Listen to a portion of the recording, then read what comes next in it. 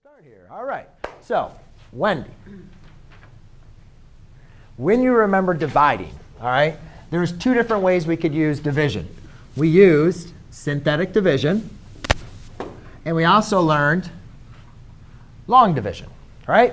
Now, sometimes I said, hey, you had a preference. You could use whatever one you wanted to, right? And but sometimes I said you can only use synthetic division on this type, or you can only use long division, right?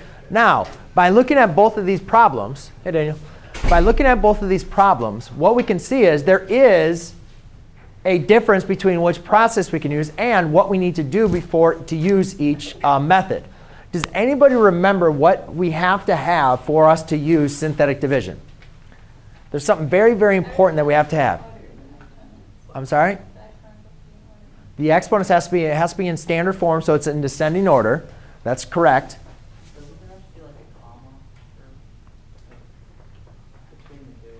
Yeah, well, I mean, I could write divide these two and then comma them, but I'm just writing that as a division problem. But yeah, there's different ways to write it up there.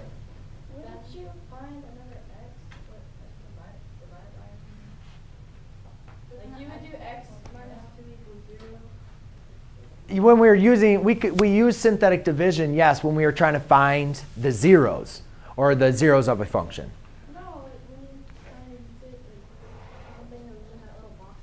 Yeah, yeah, no, no, yeah, but I, I, haven't asked that question yet. I haven't. What I haven't decided though yet, I, can we use synthetic division for this problem? And there's a specific reason, yes or no, we can. Does anybody know that? Yes. Uh, yes, because you have binomial. Not so much just a binomial, but it is a linear binomial, and the exponent is raised to the first power. All right. You have to have x minus c in that form, whatever else. But you have to have an exponent raised to the first power.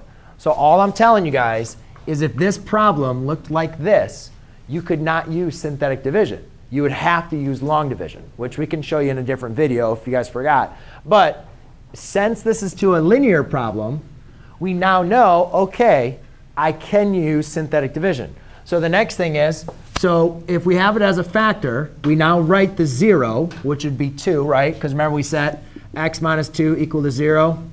And then you solve, so x equals 2. Right? So that's your 0. So you plug the 2 in there. Then the next couple things is, um, so now you got to go back to what Ronnie said and make sure that's in descending order. So we have x cubed, x squared, x, and then negative 3. So now what we're going to do is write the coefficients. 1, negative 1, 9, and negative 3. And what if I was missing one? Does anybody remember what number do we put in for missing one? Zero, right? So you got to remember if you're missing a term, you put it in for there. So now we bring down the 1, 1 times 2. Bring down the 1, 1 times 2 is 2. 1, 2, 7. 7 times 2 is 14. 11. Uh, what? What?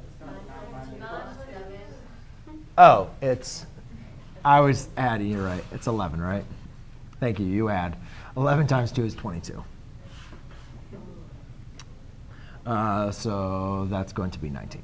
OK, so for this one, now we have a remainder. So we know that it does not divide evenly, and that's fine. So we can say that here's your remainder, constant, linear, and quadratic.